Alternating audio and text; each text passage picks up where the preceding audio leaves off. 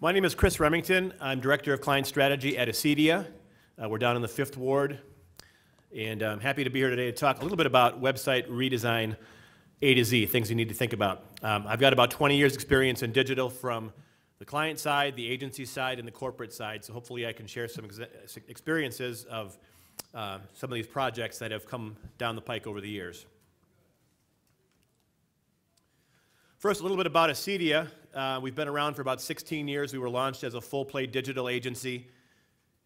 We've done literally thousands of projects for hundreds of clients over that time. We've got about 53 folks on staff. Um, full design, full programming, uh, SEO, PPC, um, analytics. We have a full marketing services team. Um, very diverse client base. We have four different markets that we really kind of specialize in travel and tourism, uh, manufacturing, healthcare, and higher education. But we do deal with uh, clients in other markets um, as well.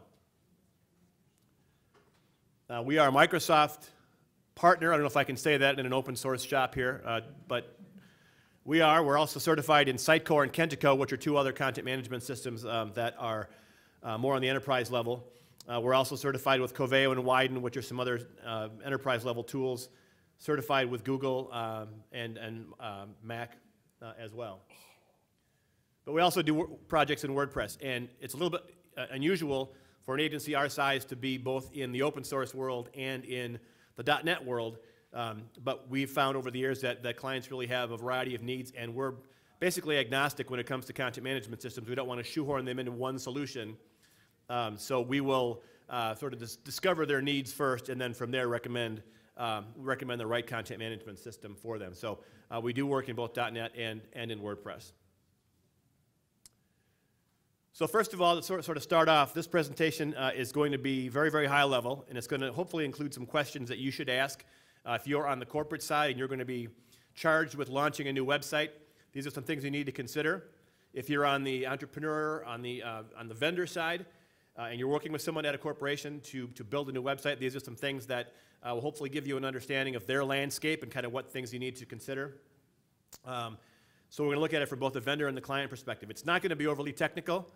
Uh, it's not going to be a sales pitch for any particular CMS, although we will talk about WordPress a bit uh, in a minute, and it's not going to be any kind of a side-by-side -side comparison of CMS tools. It's really going to be looking at it from a project basis um, instead of from a, a, content management system selection uh, focus.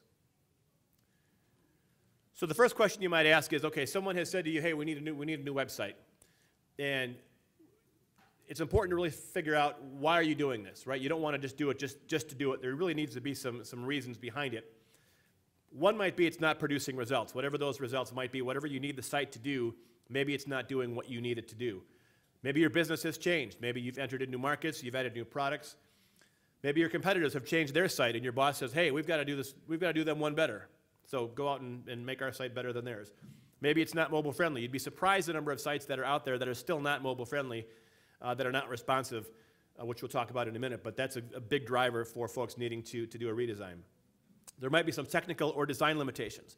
So maybe they um, built the site, they used a theme, and now they can't do the things that they need to do from a design perspective, or technically they just can't uh, perform the sorts of calls to action that they need. So there needs to be an enhancement with that. Maybe it no longer reflects the brand. Um, but the most important thing really is to, is to, as you can, rely on data to drive the redesign action plan. I am amazed when I talk to CEOs of companies and I say, well, you want to do this new website. What does your data tell you? What, your, what does your Google Analytics tell you about your website traffic? Blank, blank faces. They don't even look at that, which I think is, is a crime because you've got so much good data there and so much actionable information um, as you can, you really should try to um, use your Google Analytics and use your data to tell you kind of what you want to change, how to, and, and to what degree it needs to be changed. But it's amazing how many people don't do that. It's also important from if you're a vendor or if you're somebody within an organization to understand who's driving the project because this is going to give you a real good sense of you know, who the main stakeholders are and whose buttons you have to push to make sure that this is going to be a successful initiative? Is it somebody in the marketing and, and sales team? Is it somebody in the C-level suite that says, hey, we have to have this? Um, maybe it's your board of directors or board of trustees that are, are pushing for, uh, for the change. Maybe it's somebody in the IT department, and you know that can always be sort of an interesting push-pull when you've got IT versus marketing. Uh, you know, no offense to IT people, they have a different perspective of what a site needs to look like and what it needs to behave like versus someone in marketing. Marketing folks might not know a lot about the intricacies of the IT world, so there needs to be sort of a, a push-pull there a little bit.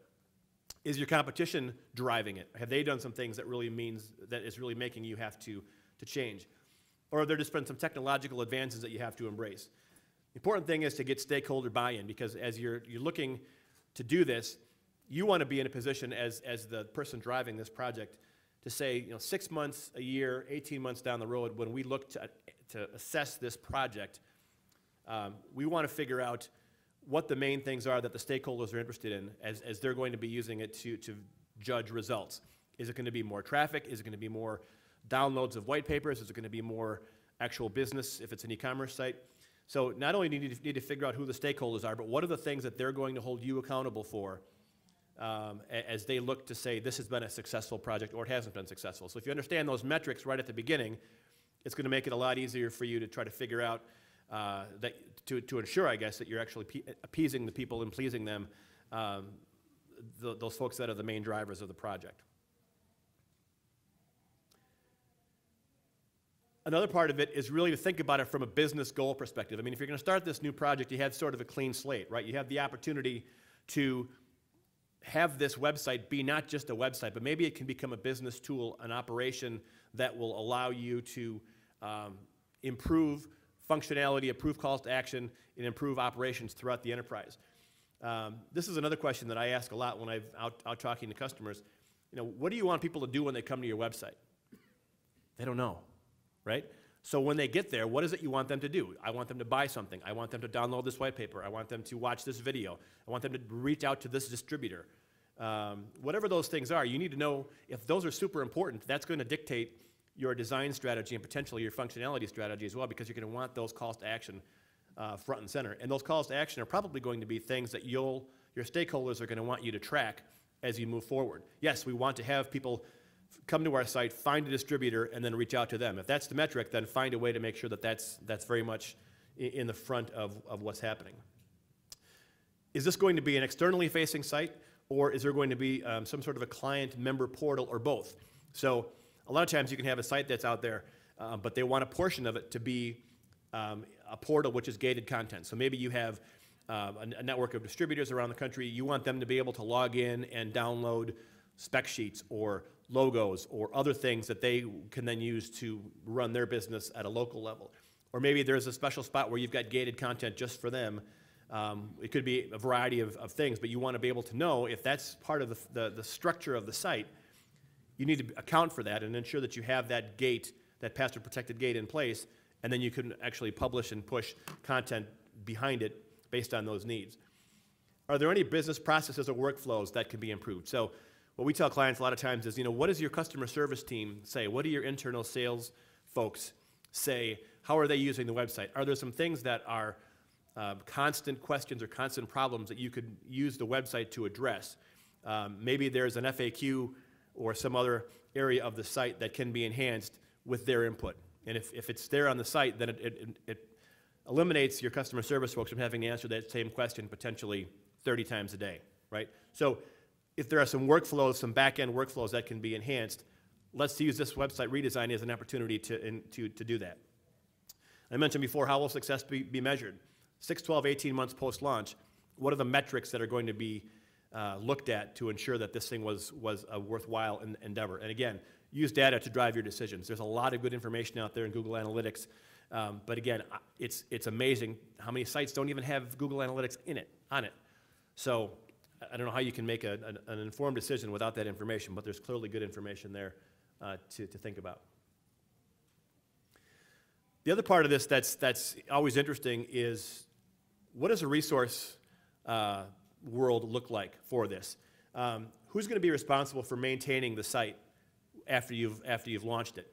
Um, you may not have the right staff if you're, if you're working at, at a company. You may not have the right staff on, on hand to maintain the site. You might not have enough people. They might not have the right skills. So if that's the case, what do you do? Do you, do you give them training? Do you bring in more people? But at some point, you're going to have to hand the keys of this website over to somebody else and it's important to figure out who those people are going to be.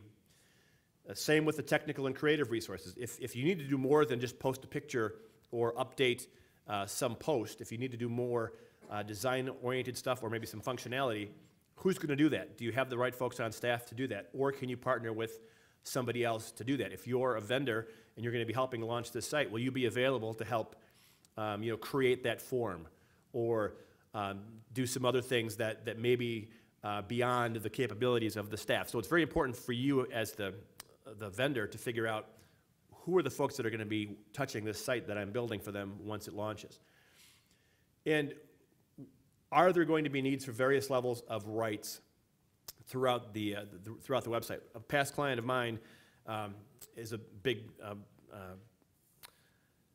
place here in town that is, is quite popular. I'm not going to mention it, but they have about 20 different departments across their enterprise, all of whom need to touch the website at one point or another.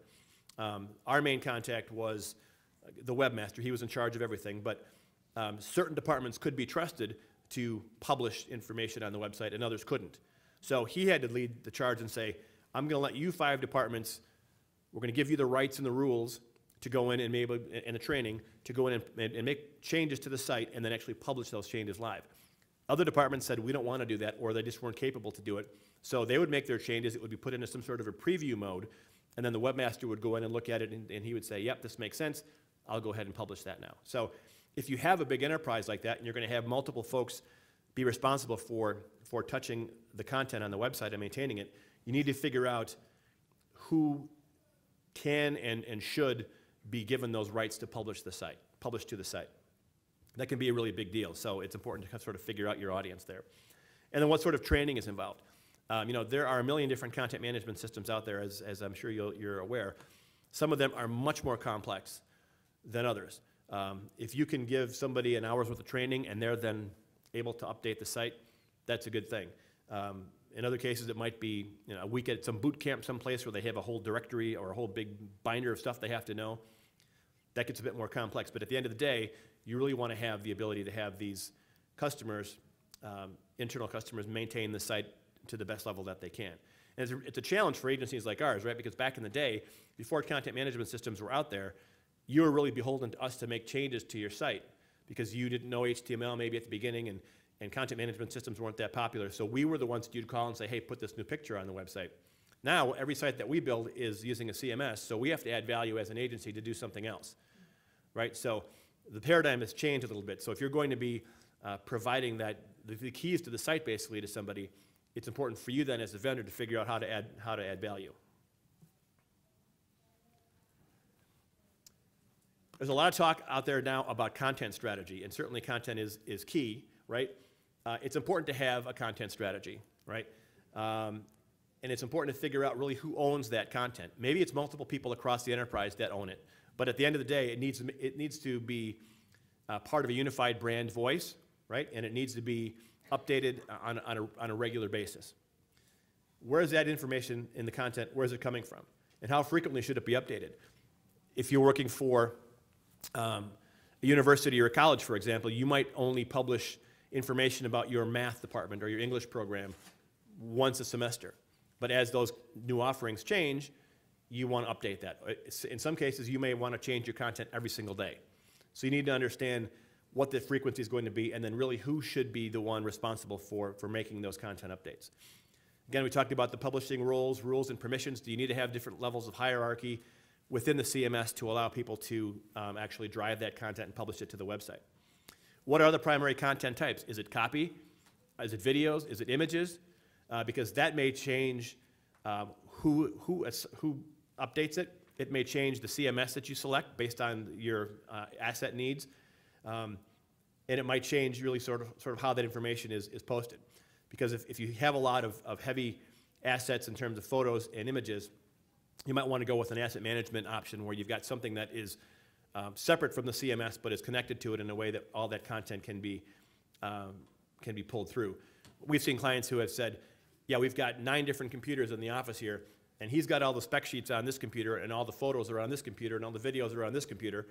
And so an asset management or a document management uh, option, or even with a CMS that has a, a database, you can combine all that stuff in one spot, and it makes it a lot easier then for those content publishers to access that information and then pull it through to the site.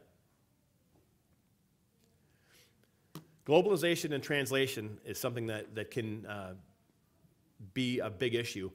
Um, you know, for some folks, putting a, a plugin like a Google Translate in a website is, is fine. Uh, for other cases, you know, we advise clients that are really looking to reach out to folks in other parts of the world to actually have a native speaker actually write that content and then publish it. Um, so you want to figure out really the level to which that translation and that, that outreach in another language is going to be important. If you go and get somebody very excited about um, your Spanish language version of the website and you don't have anyone on your, on your staff that speaks Spanish, if that person emails you, your sales department says, I, I want to, I don't know, I don't speak Spanish, but if they say, um, I want to speak to somebody about this product, right, and it's, in, and it's in Spanish, and you get this email and you can't respond to it in Spanish, well, that's kind of a problem, right? So you have to realize that at some point, if you're going to throw the translation out there, you may have to close that loop, right, and have somebody respond back in Arabic or in Spanish or in Russian or whatever that's going to be. Otherwise, you're just teasing them. You're throwing this stuff out there, and it's, it's not, they're not able to sort of respond to you in their language, which is, which is I think, what you kind of want. Does there need to be any kind of gated content? We talked about that before, but is there a strategy to put certain content behind a password protected gate? And, and what, are the, what are the reasons for that? Uh, it might be stuff you don't want to have your, your general population access. You may want to be able to track the number of times uh, a sales rep or a distributor comes in and accesses that information. It might be a metric that you use then to gauge how successful they are in, in their role. Um, but gated content is certainly something to think about. And then social media. You can have just a link to your Facebook and your YouTube page on your site, or do you want to have it actually pull through a live feed? Um, so there are different ways you can integrate that. And will community be important? Do you want to have a, a, community where folks can come in and, and share their thoughts about your brand or share their thoughts about your, your company? Uh, if, if you do, you probably want to have somebody sort of mod moderate that so that they can respond back um, to any questions or queries that might come up. And obviously, SEO is, is hugely important. As you look at content on the site, right, it might tell you tell the story of your business or your products, but it might not necessarily be search engine optimized. So you sort of want to scrub it with, with that SEO brush to make sure that the keywords and the different phrases within that copy are done correctly and put in the right spots on the page so that you're actually able to enhance your search engine visibility. Um, and that search engine focus may have implications to your sitemap. You may want to change your top level navigation or other sections of the site. You may want to reword them based on, on your SEO. So for example, if people are if your analytics are telling you that people are searching for your product one way, you might want to use that phrase uh, as what you call a certain header of your, of your navigation. So don't forget about looking at that, um, that information. There's a good tip here on the bottom uh, from one of, our, uh, one of my colleagues that wrote an interesting uh, blog piece on improving uh, ranking with SEO, which you can check out.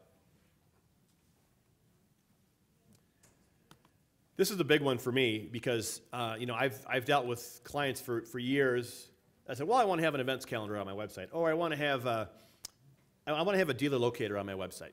Okay, well, what does that mean? Because I can ask you 15 questions about each one of those, and it could go from uh, a, a plugin that we can pull down, or it could be a, a 300 hours of programming to customize this to do, to do what you want. So if you're going to be sending out an RFP or you're going to be engaging a vendor, you really need to understand what this means. I mean, is an event calendar really just pulling through like a Google Calendar or some other thing, or do you want to have people actually be able to uh, register for stuff and, and, maybe pay to sign up for things? Um, you need to flush this stuff out. So if you're on the, on the client side, you need to be able to say what, uh, what you want. A dealer locator is a good example. You might have uh, 100 dealers, you might say, I want to have a zip code radius of 25 miles and you put in your zip code and you find your dealer. Okay, well, that's, that's one thing, right? But if you say, well, wait a second, I want to be able to determine really on the fly which dealers show up. If I've got 10 dealers in Chicago, I want to be able to have certain ones show up at the top and not at the bottom. Okay, well, now you're talking about a whole other level of programming. How do you determine which of those dealers show up? What, what's the criteria that you use to make that happen? Because now you've got a whole other level of, of programming. You have, to you have to make attributions to certain dealers based on whether they're a gold, silver, bronze level dealer, whatever that is, so that the system, when someone types in the, the zip code, the right dealers show up. So it's very important for you to understand, um, you know, what those things are, um, all the nuances of the different pieces of this, and also third-party tool integration. Um, a lot of our clients will link to uh, like a an HR portal, like a Taleo or something like that, where they're actually look linking to something that has the jobs posted. We have some of our educational clients that link off the site to um, a donation link or to uh, an application for something. Um, those may or may not be responsive, so you might have this really great mobile, mobile-friendly site, link off to this third-party thing, and now it's not responsive, so you've got a user experience situation going on. But it's important to figure out what those third-party tools uh, will be and ensure that that's factored in early on into the process. so design is, is, is another important fact. Obviously, you want it to, to reinforce your brand. Um, all sites now are, are, are, done with a mobile focus, hopefully. Uh, at least they're, they're responsive so that you have that mobile optimized uh, version. It's super important to have high quality photographs. So if you have um, products, uh, you know, invest in the money to actually take, take good quality pictures because that's going to allow you to have the, the navigation sliders and things across the top that really sort of showcase your, showcase your products.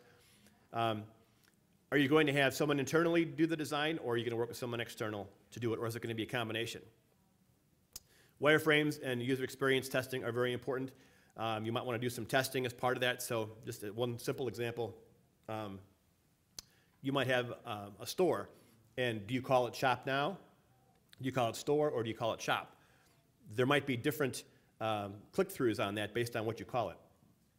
And I worked at, uh, at Mark Travel a number of years back, and they were looking to relaunch uh, a booking engine for one of their travel products. And they, they wanted you to, uh, to book something and put your hotel and your flight into a suitcase, which they thought would have been really kind of cute, right? Because it's kind of a travel thing. And, but when they did use their experience testing, everybody was saying, well, where's, where's the shopping cart? Where's the cart, right? And it was, it dawned on them right then and there that, that maybe that's the way they needed to go. People are used to that cart. They're not used to the, to the suitcase. And they abandoned that option, which, which saved them a lot of, a lot of issues. So um, there are certain best practices they really don't want to tinker with, and I'm glad they, they made that change. But um, you'd be surprised when you did do some usability testing, things like that might may come up that can save you a lot of headaches later on. And then themes versus customs. I know Matt talked about that in the first session. Um, you know, themes can be great, um, and they can uh, get you a lot of the way down towards getting the project finished. On the other hand, they can be somewhat limiting, and I have seen clients who have said, look, we had this guy build the site for us, they used a theme, and now the level of changes we want to make to it, really the theme doesn't support it, and, it, and the theme is busting, and so what do you do? Do you, do you start from scratch? Do you sort of continue to work that theme uh, to its limits?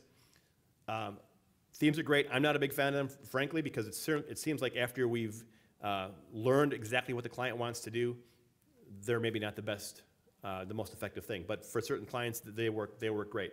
The other knock on them sometimes is, well, I don't want to have my site look like a thousand other sites out there. Well, yeah, that's, that's one of the risks of it, but it does have, it does have some advantages for sure. One thing we do a lot of um, is, is user personas. And this is really a good way for, for clients to visualize in, in a very practical way who's visiting the site. This is for one of our, um, our food service clients. And I, I, apologize if you can't read it, but this is Graham. He's, he's a 37 year old executive chef.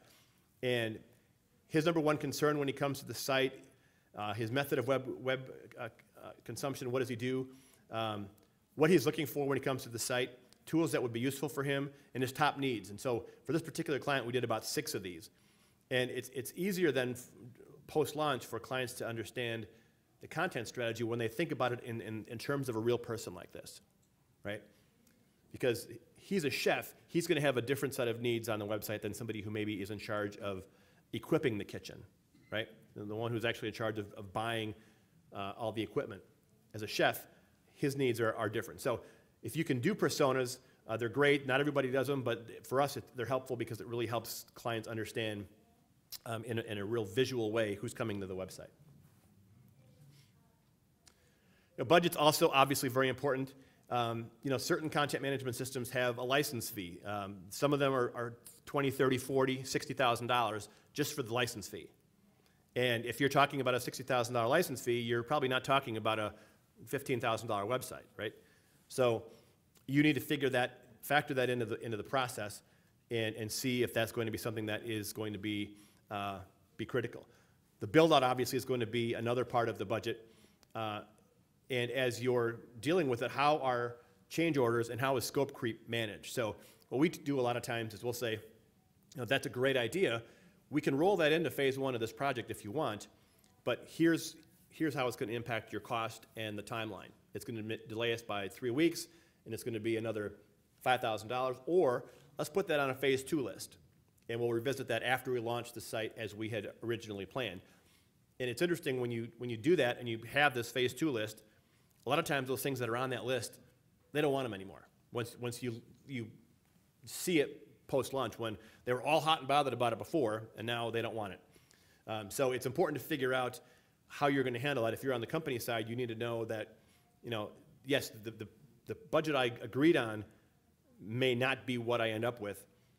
So if that's the case, you need to kind of plan for that. And what kind of post-launch support maintenance um, is involved? Do you need, you know, if, if we go back to some of the resource slides here, and you need to have somebody from an outside firm help you with some of the creative or technical changes, what is that maintenance going to cost you each month? You, can you get a block of hours? Is it um, a certain amount of time per, per, uh, per quarter? You need to kind of account for that because a lot of times I think clients that I've dealt with have, have assumed that launching the site, that's the only expense. And then once that's done, they're done with it. There is a lot of post-launch stuff that potentially can, can happen, and you need to kind of plan for, for that. CMS upgrades, uh, you know, those are very important to, to stay current. Some may be driven by security, some may be driven by functionality. We'll talk more about that in a second.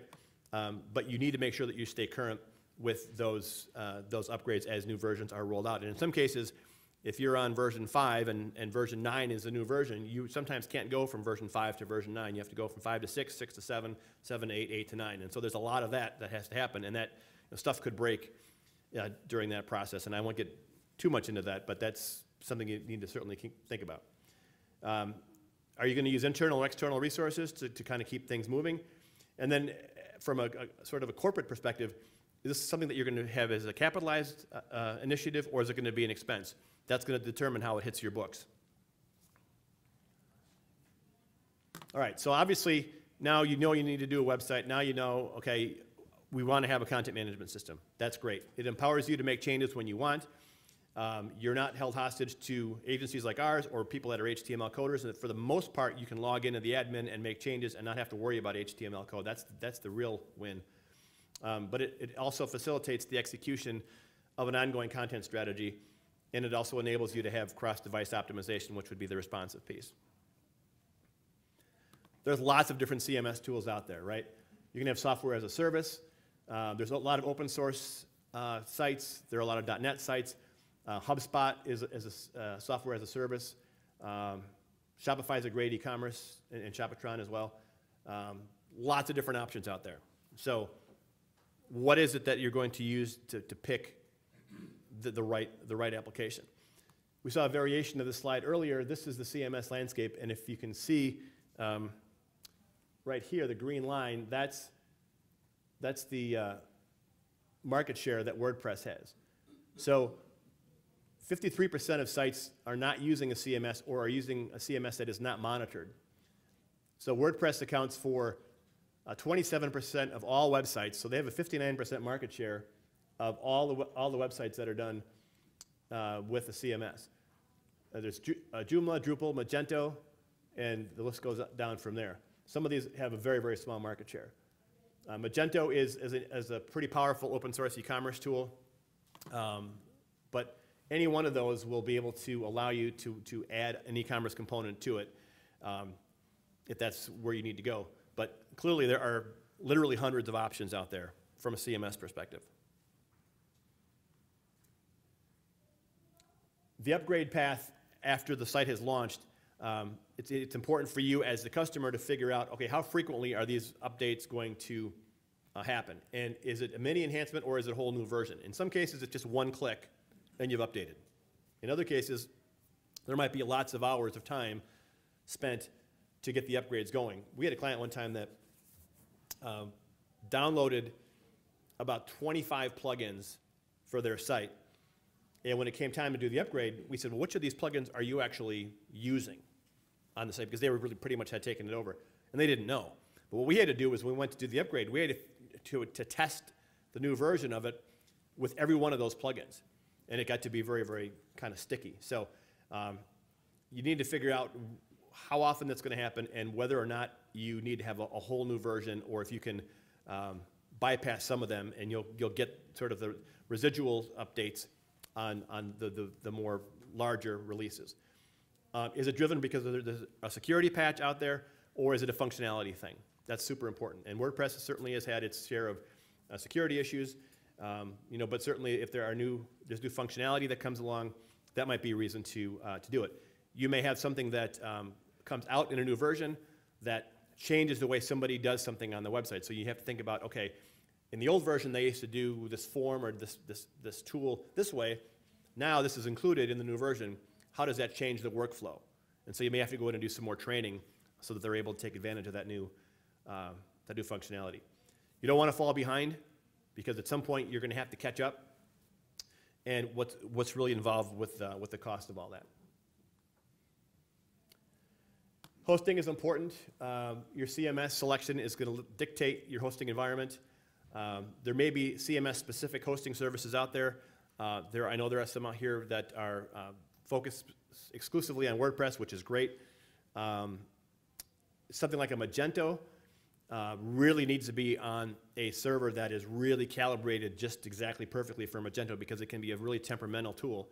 and if it's hosted someplace else, you're going to see a lot of performance issues. Um, clients, it's amazing. Clients that I've talked to really want to know where their site's being hosted. They want to be able, if they need to, to drive out and see it. That's the box that has my server on it, right? That's great. Or if it's in the cloud, it's in the cloud. But you want to figure out that, you know, where they are in that in that continuum, so that you can give them a hosting environment uh, that uh, makes them feel comfortable. And you know, we tell clients to not host their websites internally because you're, you're too close to your other internal systems, whether it's payroll or inventory or whatever that is, it's just easier to, to separate that and not have it be part of, part of that internal world. Um, it, it, can just cause, can cause issues. You may have a different opinion, but that's what we've, we've experienced. Um, and you know, and when you go to pick a CMS, you know, there might be certain things that come out of the box with a tool that another tool doesn't have. So it might be as easy as getting a plugin, uh, but in other cases, it might do things uh, you know, right out of the box. So for example, I've got some experience with a CMS called Concrete 5. Um, they have a form builder built right in out of the box, and it's really super easy to use. Um, I think what Matt said earlier is that you may have to have a form uh, plugin come in for WordPress. So that's just one, one little thing that maybe is, uh, will be a factor that you would use to select a CMS versus another one. How easily can things be added to it? Can, can I, as the client, add things to it, or do I have to call you as my vendor to help me add a navigational slider or whatever the, the enhancement is. How does that, how does that happen? Um, and the other thing we found is that with some of these plugins, even you know, with some of the open source community stuff, um, clients will say, well, I want to have the, the plugin that was created by the community versus um, a member of the community, right? So for example, for, uh, for Concrete 5, there were people that worked for Concrete 5 that actually built plugins and, and launched those. They, they felt that those were better than some programmer that had uh, a plugin because it, they felt it was going to be uh, more easily maintained and it was going to be more reputable. That may not be the case, but um, you may want to look as you're going to add a plugin. Is it something that maybe is more of a, of a CMS uh, driven plugin versus just a, a, programmer, which is no, no offense to programmers, but uh, you want to find out what the uh, interest is on that. And then how easy is it for you to integrate third-party connections. Some CMS tools will have a very easy connection to things like QuickBooks or Salesforce or Constant Contact. Um, I know with, with, Concrete 5, the, the, the MailChimp uh, plugin, it's, it's already part of the, part of the build. Uh, PayPal's another one. So if you have that, that environment where you're hopping out to other tools, how easy is it for you to connect those uh, to, to the CMS that you pick? It's one of the questions you want to ask. Uh, and obviously SEO is super important. Uh, again, use data to drive that redesign and find out what your SEO is telling you, find out what your analytics are telling you, do an SEO audit. Um, you're going to get some great insight from Google, uh, top keywords, um, you know, pathing through the site. If you want to go and rebuild a certain section of the site, and your analytics is telling you that nobody's going there, you know, maybe that's why you want to do it, but you certainly want to figure out, you know, how you want to enhance certain things and make sure that it makes sense given, given your traffic flow. And this is a big one too. You want to set expectations for SEO visibility. Um, I've had a lot of clients that have, their CEO has said, why don't we come up with this keyword? Well, because it was not one that you picked to optimize, right? So you're not going to come up at the top or on page one of every single keyword in your, uh, in your space. So it's important for you to understand and for your, your managers to understand these are the phrases we're optimizing the site for. Uh, and so if you're going to say, why aren't we there for this one? We can do that, but it's not on the list right now. That, that is um, what we're optimizing the site for. So if you can set those expectations and they can Google it and they can say, oh, we're the first listing on this page, that's because we've optimized the site for that. So just don't let them throw you a curveball and pick something that's way down the road. Um, organic and paid strategy is, is a good combination. If your site is created properly organically, that's good. Um, that's really the code on the page, of course. Uh, the paid strategy is, is uh, pay-per-click and things of that sort. You may um, not be able to compete on certain phrases. We have one client right now that their, their important keyword phrases are about $65 a click um, for the market that they want to get into. And some of these other ones that you see, like mesothelioma lawyers, four or five hundred dollars a click for some of these keyword phrases. So if you want to play in that game, you, you know that's that's a whole other level.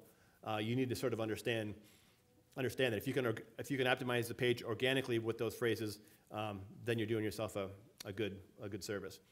And there are two good resources right there that can get you uh, some data on an SEO checklist and, and different uh, friendly designs for SEO. Uh, and you know, when you think about driving traffic to the site, you know, it's important to, to really understand what are the sites that are referring traffic to you currently. Are those the right sites? Are there other sites that could be set up as traffic builders? And, and you have to also find out where does your target audience congregate online? If you're a, a manufacturer of um, you know, metal parts, is there a metal parts uh, magazine that has a website that you can maybe sponsor an email or you can have an ad on that page where people are sort of getting together to talk about your industry. Um, if there are spots like that or there are conferences that are coming up that are specific to your market, have a presence there. Is there a blog where they're talking about photography or metal parts or whatever it is that you're doing? Can you have a presence there? And then from that, then reach out to that, that site, have a presence. Uh, and then social media. And I think social media is a great thing, and, and you know, we're big on, on YouTube. I think it's one that maybe sometimes people don't always uh, think about first. They, they're, they're more concerned with uh, Facebook and Twitter. Um, but if you do a video strategy properly, YouTube can be a great, uh, a great traffic building tool because that's the, one of the second, second or third biggest search engine for uh, content uh, is YouTube. And then as you pick a vendor, you know, you want to figure out, you know, how, how long have they been in business? How stable are they? I, I applaud those of you that have ventured off on your own to start your own, your own gig. I think that's great. Um, I, I hope that you have many long years uh, doing that. I have seen customers who have, who have said, we hired this guy to build this website and we can't find him. He's gone. He's, he's completely A- AWOL and we're stuck. He's the only one that knew how to build the site or make changes to it. Now we're screwed.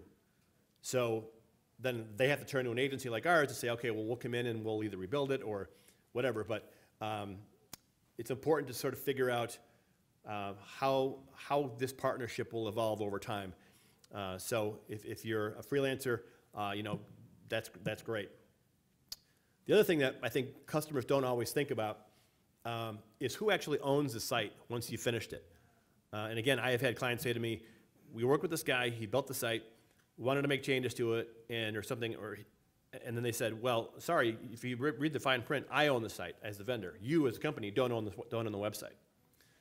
And so now they're really stuck, right? Because this thing that they spent all this money on is, is, is the owner is, uh, is owned by, this, by the vendor. So it might seem like, like a minor thing, but make sure that you ask, once the site is done, who owns it? We say very clearly in our, in our fine print, you know, you own the whole thing. We'll give it to you on a disc. You can do whatever the hell you want to with it, but your site. Even though we had some sweat in it from building it, it's your site. So again, a minor thing, but make sure that you talk through that. Um, what kind of relevant and related experience do they have? uh, to, to do your site. Um, in some cases, being in a market is a good thing. In other cases, it might not be a good thing because they might say, well, um, there's conflict of interest here. You're working with three other French restaurants in town or whatever, some other market, right? How, how are you going to differentiate me from these other guys in this market? I, I might not, but that's my thing is French restaurants, right? Or metal shops or whatever the case might be. Um, just because someone doesn't have experience in your exact market doesn't mean that they can't do a good job uh, for you to, to, to get you visibility within your particular area. Um, what other services do they offer? Um, what kind of recommendations can you get from them? And you know, if we encourage clients to come visit us, uh, we have two, two floors in, in a building on First in Pittsburgh, down in the Fifth Ward. Um, it'll be a beer 30 at about 3:30 today. We'll have some beers out for folks if they want to come by. Um, but we encourage people to come and meet the team and, and see us in sort of our native habitat. Um, that may not be your thing, but if that's important to you and you want to kind of get a sense of the culture, uh, ask if you can do that. So that's it. Uh, I guess I'll open it up for any questions if anyone has any. Someone's got to have a, yes, thank you. Why do you think WordPress has such a a market share? The question is, why does WordPress, uh, why do I think WordPress has such a market share? I think it's, um, it's got a reputation of being pretty easy to use. Um, you know, it's, it's, it came out of the gate quick, I think. It, it, as they said before, it started as a blogging tool, but you can do a lot of stuff with it. Um, and I think the barrier to entry for folks to just download it and start using it is pretty low. So uh, it's, it's one that people have heard of and they're comfortable with it. And, and for a lot of folks, it works. Um, the right kind of client, it might not be the, the optimal situation, but I'd say for the majority of folks, um, you can get a, a- have a real solid site with, with WordPress. Yes? Um, you were talking about the value added once you've completed the site. What are some of the things that you guys offer as value added once you've completed a site? Um, so it could be things like um, ongoing SEO, it could be analytics, where, you know, I mentioned before, people don't always have the time to look at their analytics. We have a couple of projects right now where we're actually going to build, um, a build dashboards for clients where we can actually pull together all the information that's important for them. Um, and we'll either allow them to log into that or we're going to give them um, a weekly or monthly report that says, here's the important stuff that we all determined was critical for the site to measure its success. Here's a dashboard, here's a report, here are some recommendations to really make that better. Um, and you know, I think it's sort of an ongoing partnership to, to say, um, here's what other people in your industry are doing. You might want to consider this. Uh, to sort of just be there as a, as a, as a third party uh, set of eyes to, to sort of understand the landscape and, and always sort of push them to do new stuff because it's not a set it and forget it sort of thing, right? It's always going to constantly evolve. It may not fit their strategy today, but six months from now, it may be the, the standard for the site. So it's important for us to be able to um, be trusted to make those recommendations and, and be able to then deliver those, those services. But the dashboarding, the, the pay-per-click, um, you know, in some cases it's content writing. They can't write the content. They'll give us a, a bullet pointed list of, of stuff that they need on the site, and we'll go through and write it uh, so that it makes sense. And we'll also kind of put that SEO sprinkling on top of it so that it's optimized. Uh, that's another thing that we can do. Um, so, you know, like I said, we have to add value now because the, the actual maintenance of the site now is really in the hands of the client. So we have to add value in, in, in other ways. So, yes, in the back. I like the user persona idea.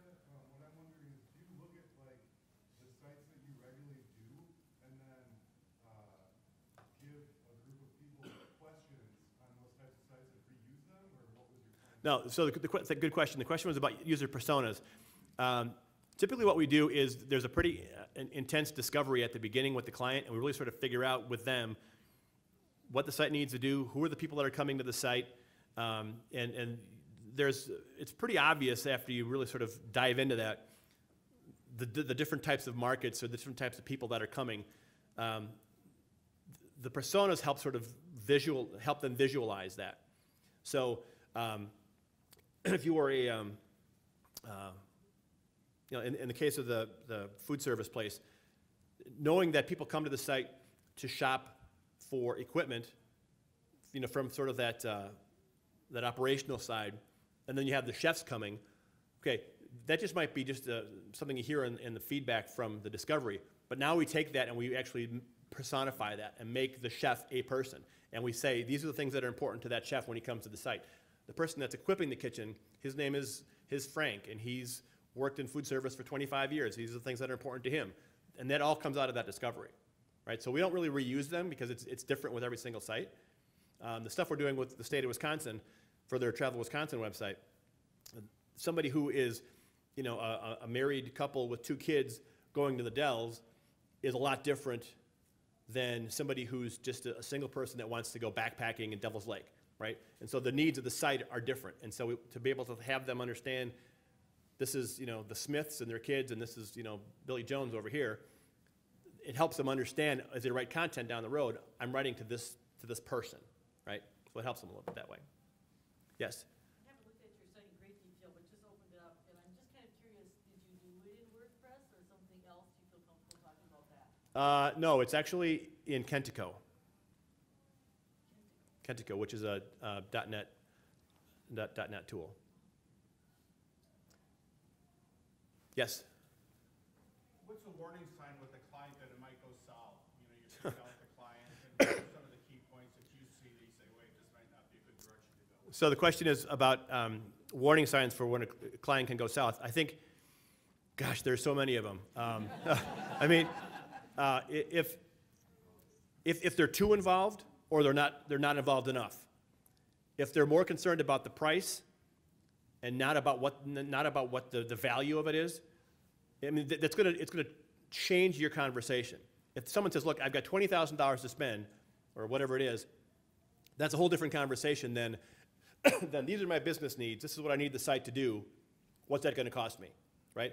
And so, um, everybody has somebody that they know that can, that can probably do this maybe on the cheap, but that's maybe not the best way to do it, right? Um, if somebody who um, is not able to make a decision, right?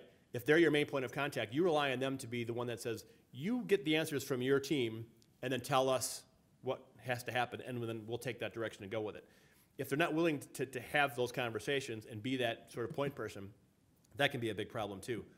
Um, if they change things midstream, right, and they change your direction, it's important for you as the vendor to say, okay, so when we signed the contract, we agreed on these 87 and a half things that were going to be part of this build. Now you've just totally changed things. We can do that, right, but it's going to take another six months and it's going to be another $20,000. Do you want to do that? We'll stop it right now and we'll roll that in. Otherwise, let's put it on a phase two list. So it's important for you to help them stay on course with, with these projects. Um, I hope that helps, but there's a lot of things that you can, you know, I can, I can see a client right off the bat and go, this is gonna be, this is gonna be tough. Um, we had one that we actually just lost a gig to. The guy was super involved and he wanted to be like driving everything and we're like, okay, well, we can do that to some degree, but at some point we have to be able to say, you know what, that's not a good idea, and here's why. And to be able, to be able to have that kind of conversation, um, and hope that there's enough trust there that, that you can, you can establish that. Any other, yes? On testing, uh, there's so many permutations, uh, to test for. Um, so as a percentage of your project, how much, uh, uh, as a percentage, how much testing do you do over the, the Yeah. the whole timeframe? Great question. And you see the, uh, the, the permutations, because WordPress, there's a lot of changes going on. Is that a, a limiter of, uh, the adoption of WordPress in the enterprise? Um, I don't know if it's a limiter. You know, you're going to want to thoroughly test whatever, whatever you, you pick. And you could still have a, a major enterprise that picked WordPress. That's, that's totally fine. I don't think that's an inhibitor as well, as, as much, but we have a whole QA and testing team. That's all that they do. So when, when the project gets to a certain point, um, they do the testing. We have the clients do testing as well. So it's a very sort of uh, process that we follow that um, major things are, are sort of checked and double checked. And so it's going to solve problems down the road if you test stuff thoroughly. And I've, I've seen projects that, you know, are given just a quick, yeah, it looks okay. And then they launch it and it was never really tested. So uh, it's important for you to sort of define for your client what's involved in this testing. And if, they, if they're to be a part of it, you want to tell them, okay, these are the things we want you to, to hammer. want you to, to, to hit this form or visit this part of the site or do whatever it is so that they're, um, that they're involved.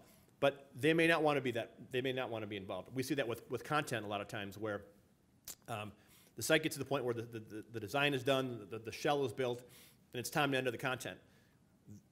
We say, do you want to enter the content now? Do you want us to train you so, and you do it? Or you'd you rather just have us enter the content and then we'll train you to update it after the launch? Because um, if you, if you allow them to do it, now you've got to account for them for their time, right? It, it could be an extra two months of time for them to enter content because they're doing other stuff too. They've got a regular other job where it's easier for us to just say, look, give us all the content. We'll hammer this in in like a week or two weeks. And then you can be an editor instead of an author, right? But if they want to get involved in the build and they want to help sort of give birth to the, to the site, then let them enter the content, but that's going to impact your timeline. But, you know, testing is, is certainly important, and, and I think if you can clearly spell out what's going to be tested and um, who's going to do it, whether it's you or the client or both, I think it's going to help down the road for sure. Yes? Along the same lines of the testing, do you talk to your clients about, uh, the fact that their website might not work in all browsers? Uh, The question was, the website's working in, in browsers? No, because, well, yes. Th- There is a, uh, an explanation that, um, you know, we're going to build a site for the most current browser or one back. So if you're running, you know, IE6, you know, hello, uh, it- it's time to upgrade your browser. But if they want, if it needs to be retrofitted back to some other thing, it's good to know that early on. We, we see that with a lot of corporations where they're, um, where it takes a huge effort to upgrade to another version. Maybe they're mandated to be on a certain, a certain version. Um, but we say pretty clearly at the beginning, these are the browsers that, that this thing is going to be guaranteed to work in. And then that drives part of your testing plan too. We're not going to go back to IE8 or, or whatever the case might be. Um, and in some cases, what will happen then is if someone visits the site with that browser, there'll be a notice at the top of the page that says, like, hey, hello, you're on an old browser. Click here to upgrade it. And, you know, it's 2017 for God's sakes. So um, we'll encourage them to do that. And then, then they can experience the site the way it was meant to be. So you do have that conversation with the client? Yes, um, yes, right. It's, it's, it's also in the, in the fine print of the, uh, the, the- the project uh, plan as well. Yes? You mentioned using data to drive all of these changes, but a lot of times, especially for smaller site, the reason they're doing a redesign, is they don't have all those analytics and data in place. So what do you use to substitute for that in case that someone doesn't have any of this data to rely on?